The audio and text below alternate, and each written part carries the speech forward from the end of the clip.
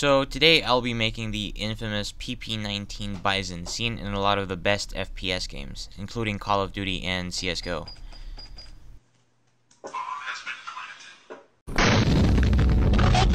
And now, A brief history of the PP-19 Bison, translated 50 times in the worst translating languages.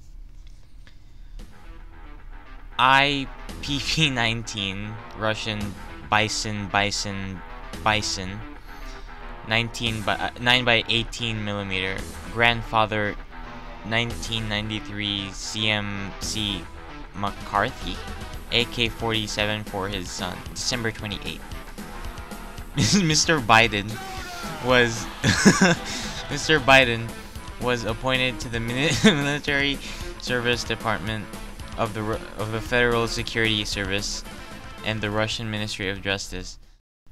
So the last time I made a gun on this channel was 3 years ago when I made the TF2 Panic Attack. I really hope I've made progress since then. Uh, so let's get on with the video. So the way I'm going to be making this is by making the lower receiver first, then followed by the barrel shroud, and so on.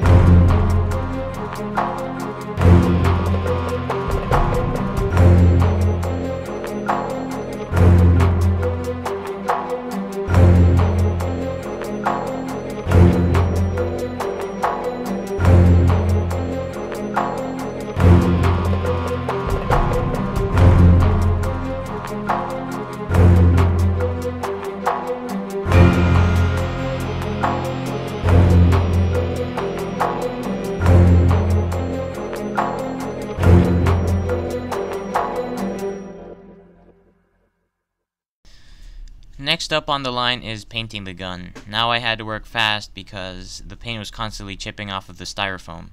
After that, I sprayed the whole thing with a coat of lacquer varnish.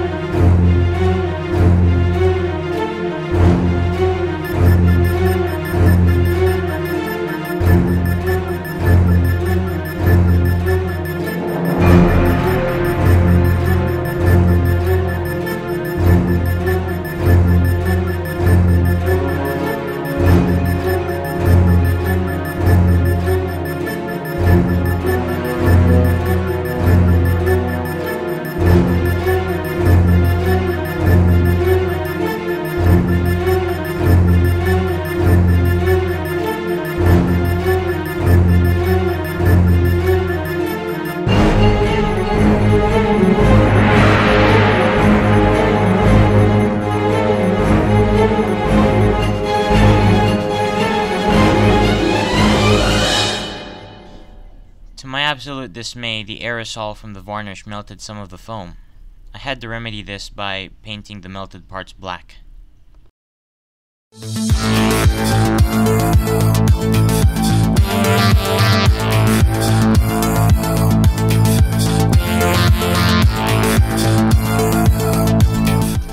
And now it is done. I really love this gun. Um, this is this has got to be my best SMG ever and my best AK style gun. I really love the functionality of the magazine. It uh, it locks in like the real thing and it can't get out. I also love the bolt over here, the charging handle, and it's really it's really easy to put it in as you can see. It's really nice and the iron sights work as well as you can see. So uh, let's test it out for a bit.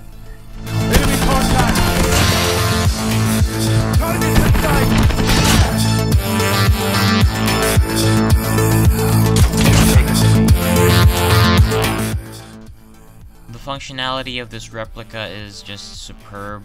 Although the trigger and the other stuff, like the safety lever, uh, doesn't work, of course. But it's just an amazing uh, thing to have. I can play with it like a toy. So I hope you enjoyed that video, and thanks for watching. Watch my next ones. Bye.